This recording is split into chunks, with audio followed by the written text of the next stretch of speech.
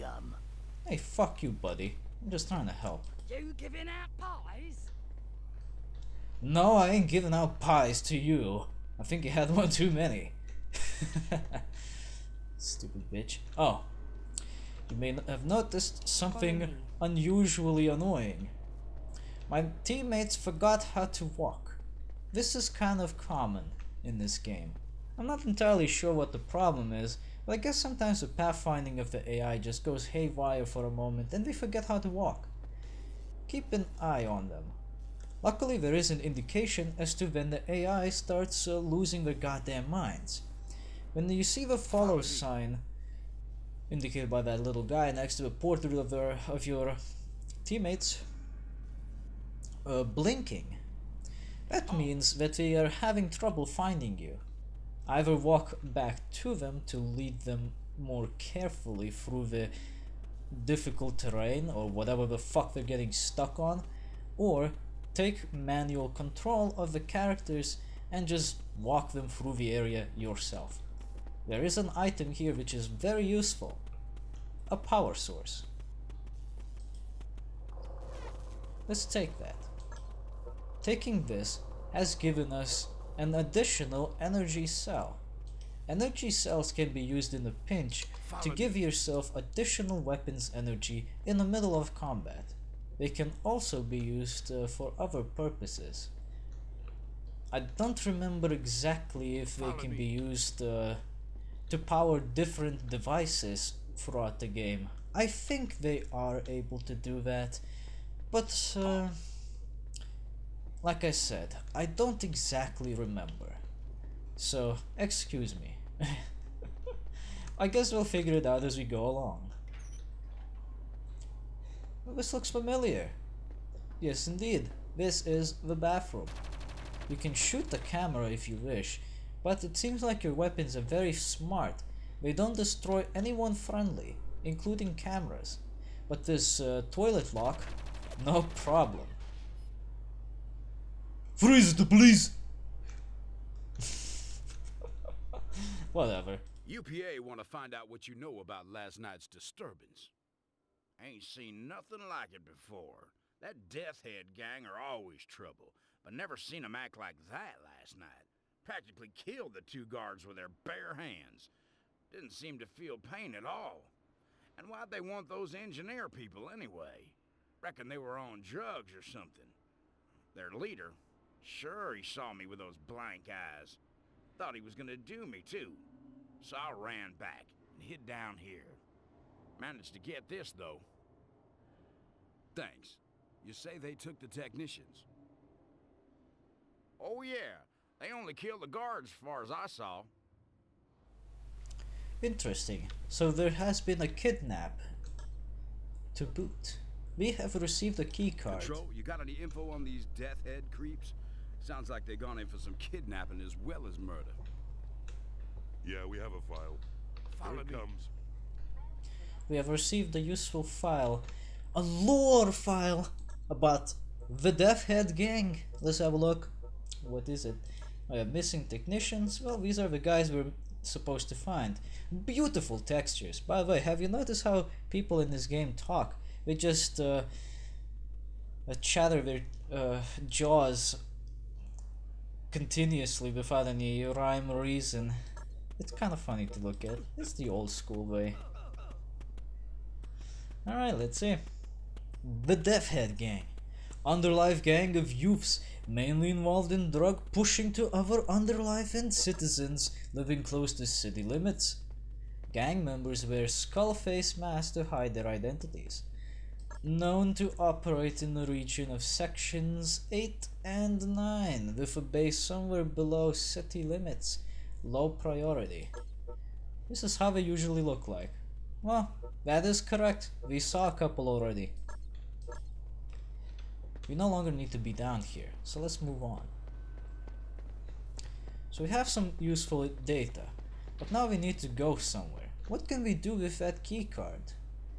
Well, if you have been explorative before, which you most likely have been, you'll note that there was a door which required a keycard back here. And this is the door in question.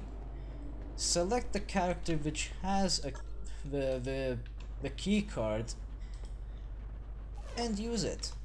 Note that not everyone has access to the items that somebody has. For example, everyone has access to the energy cells. They are in a shared pool. However, not everyone has access to items such as keycards. Only the people that have picked them up have access to them. Presumably because they simply put the damn things in their specific pockets rather than in some shared pool of items. Just an additional element of puzzle, I guess.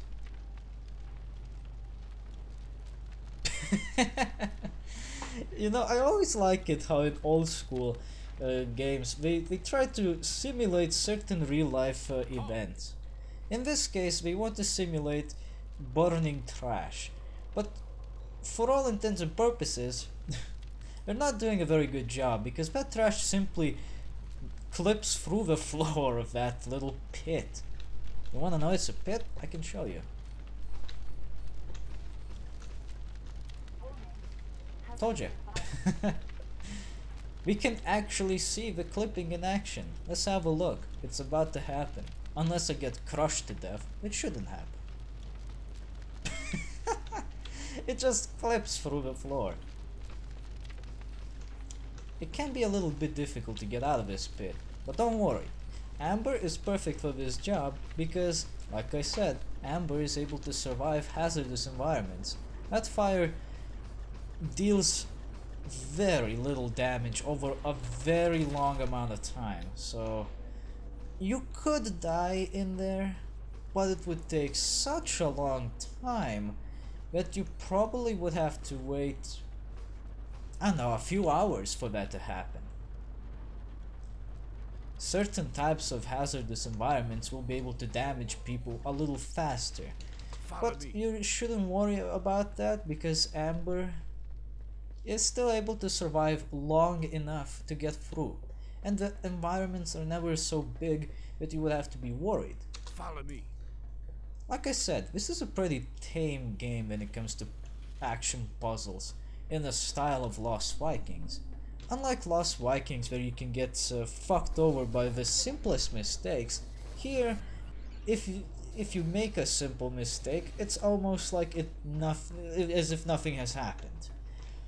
Only the most severe fuck ups can really shit up your experience. To boot, I don't think there's a lot of glitches or bugs in this game either. I mean, I've seen one where the corpse of an enemy flipped upside down and started doing the falling animation indefinitely. Um, but that's about it. Device inoperable. Sometimes you'll have a situation like this, where you have to actually get to the device you want to activate and fix it. We cannot use this item because it's broken. Let's open up this door to have an easier access to other areas should we need them. And here is the ventilation chamber uh, controls. They are locked, so let's unlock them. And this allows us to do stuff. Now, that's all nice and dandy, but uh, here's a pro tip for all new players. You don't have to exit out of any controlled items with Minoko to change characters. Simply press the button you wish uh, for, well, the different character you want to control, and that's it. Minoko is currently waiting on standby, overseeing the ventilation chamber controls. Oh. I remember this part. Let's see if I'm gonna fuck it up as I did the last time. Pull this switch to lower down a pipe. Not that it really works because this pipe gets, well, broken and falls down. But the other one starts swinging, which allows you to get a little closer. You want to take this a little carefully because uh, collision detection can fuck you up and make you fall down into pits. Okay, now we can activate with Minoko, switch back to Amber, and we'll be back to where we are. Minoko can still control this chamber without having to, well, get off the controls. As you can see, putting Amber in here first was a good idea. This is a hazardous environment full of toxic gas. What does it say? Hub hub pod system? I think it's trying to say budget system. But the textures are so horrible. this is one of the uh, mechanisms which says hold. When you let go of this mechanism, it'll close down the door.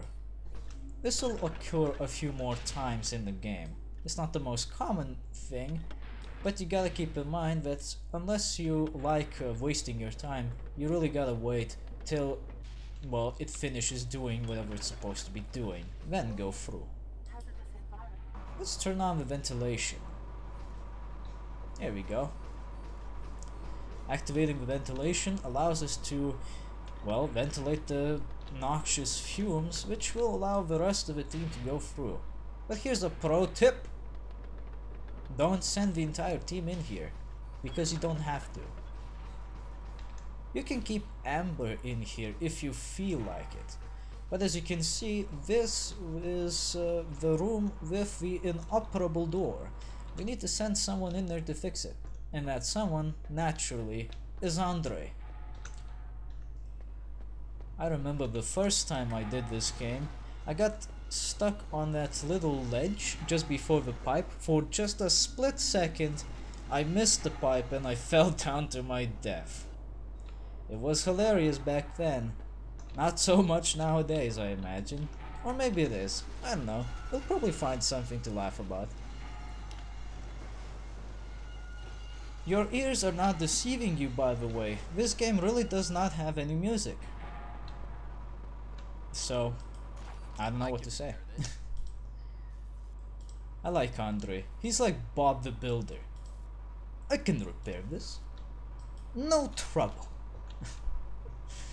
okay, so we fixed this device. Now we can switch back here and open up this door, which leads us back here.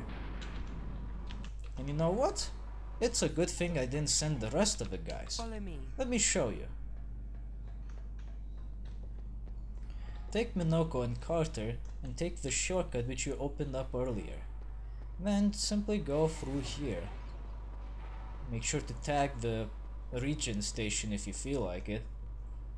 See that pipe over there? Looks familiar, doesn't it? Let's switch views. Ah, I see the rest of the guys. We've made it to this room. We can open up this door on this side and get the rest of the team to show up here much faster and much easier. Amazing. Now we simply need to operate this device to get some uh, pipes going through. You actually don't need to send all of the teammates through here. Only one person is required for this operation. To go through the pipe, that is. Another person is required to operate the pipe mechanism. Sometimes holding mechanisms are only needed to move somewhere, like this, uh, this thing. You hold the switch to actually go somewhere. Once you let go, it stops moving. I missed my fall by the way, so I smushed into the floor, face first. And this is what I meant when I said you respawn at the last tagged regen station. Andre didn't tag the station closest to where everyone is, so he's back here. This is the last one he tagged. So, you gotta go back there. I was not expecting to fall to my death, you know, so I didn't think this would happen. Once you see regen tagged show up, that means you have successfully tagged the regeneration spot, so you don't have to worry about uh, that anymore. Okay, this is interesting. There's a UPA access door which can only be opened by Carter, since it has the commander lock. We also only needed one person because this will open up a little bridge for the rest of the team to make it through. Let's take a moment to tag the regeneration station here and if necessary uh, regenerate our weapons energy. doing any regions or, well, manipulating any switches with Amber is a bit awkward since she has huge hands. Huge hands! and, well, she's a bit unwieldy, but whatever. Follow me. I ain't hating on her. Amber's good. Of course, when she's not glitching the fuck out. Okay. So. I'm detecting some evils behind this door. Here's what I'm gonna do. I can position these people in a strategical manner. And I can also switch out some weapons.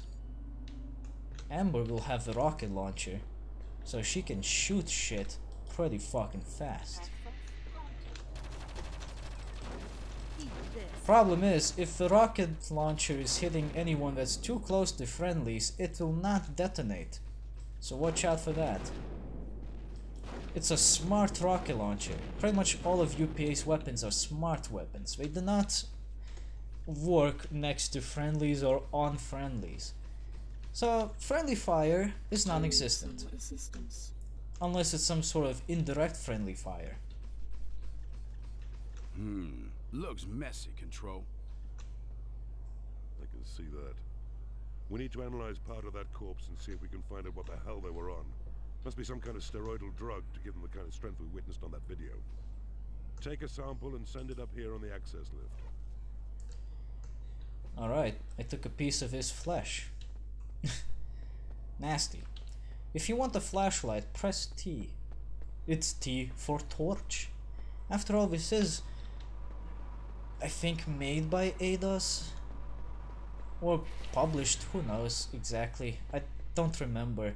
But, well, it is made by someone who's quite brutish. So, they don't call them flashlights, they call them torches. Because, you know, it still does the same fucking thing. I don't get why it's called a torch, though. It's not exactly, Okay, well, Control. Made out of its way up. flames and shit. Right. And oily going to rags. lab guys as soon as possible. For now, get your team to the UPA lift. It has a stop within the real meat plant, so you can use it to gain access. The place has gone a bit unstable since that explosion you witnessed. Those technicians were supposed to be repairing the power regulators, but they didn't get very far. Well, it is convenient that there's an elevator stop right to where we need to be. However, that's not gonna be the case for most of the game. So let's consider ourselves lucky. Always let your teammates uh, have a bit of a period of grace to catch up with you. Since we take a little bit to catch up, then you start walking from a standstill. I don't get why. And here is the UPA elevator. Including all other objectives, this is the goal of the level. You want to go here with everyone. To make your life a little easier, all UPA elevators have regeneration stations in them. Real meat! Cheese control. You weren't kidding about the place being a bit unstable. Calm yourself, Andre.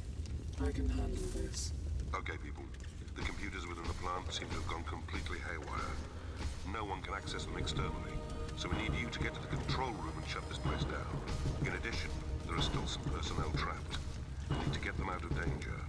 I'm uploading their positions to your scanners, as well as the position of the control room.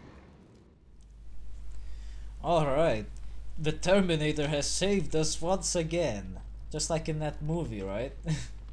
Try not to touch the fire. It will hurt. Fire's indeed hot. As you would expect. but seriously, in that cutscene, Amber was a fucking Terminator. Just, it, it's it's kind of silly, but I like it that way. I can handle this. oh. No fucking shit, the place is unstable. The fucking ventilation's on fire. what the fuck? Okay, electricity, bad. Try not to go through that. If you know what's good for you. Seriously though, they weren't fucking kidding when they said this is unstable. Look, even the dude got a fucking split in his death. Fishes are dying. Here you go.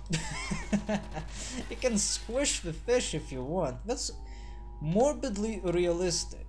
I'm not entirely sure what the point of that is, but hey, why not? we'll need to come up here for a little something. Seems like some gas pipe is leaking, I don't know, death.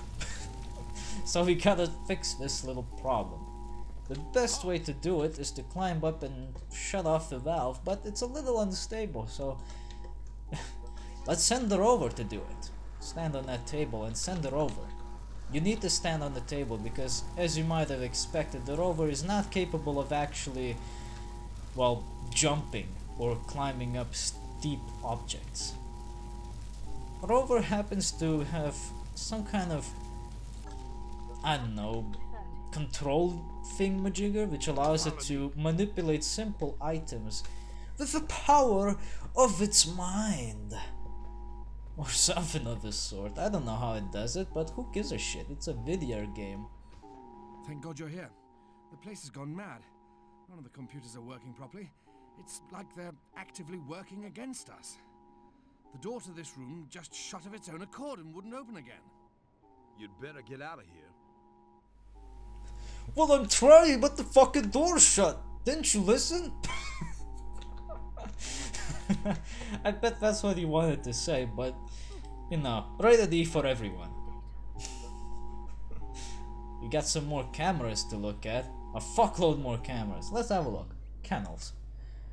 Uh, why does real meat have kennels? Full of whatever we're supposed to be keeping in here. Research lab. People seem to be kind of panicky.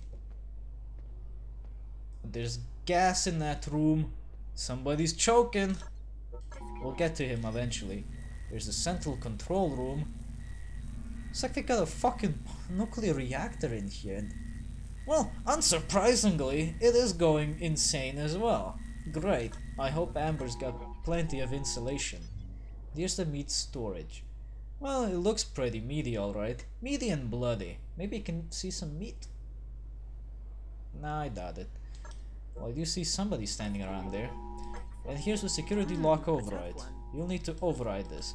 You can notice now that after the first uh, tutorial uh, unlocking sequence, every other locks that you need to hack now have a time limit, so you can't dilly-dally forever.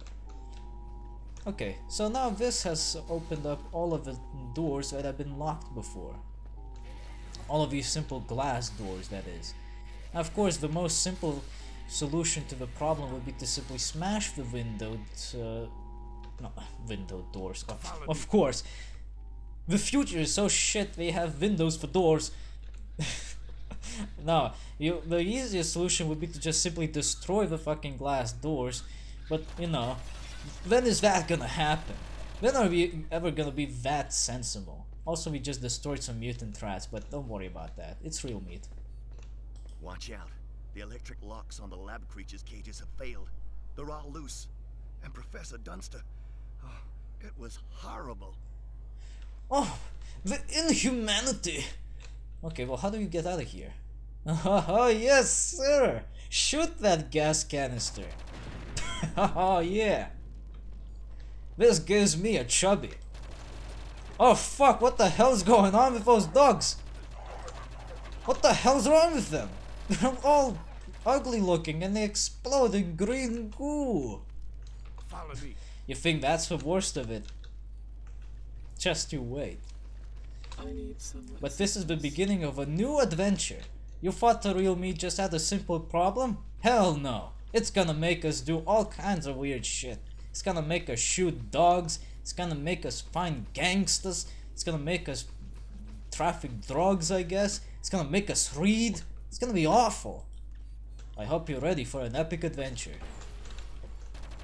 Oh fuck, I shouldn't have done that.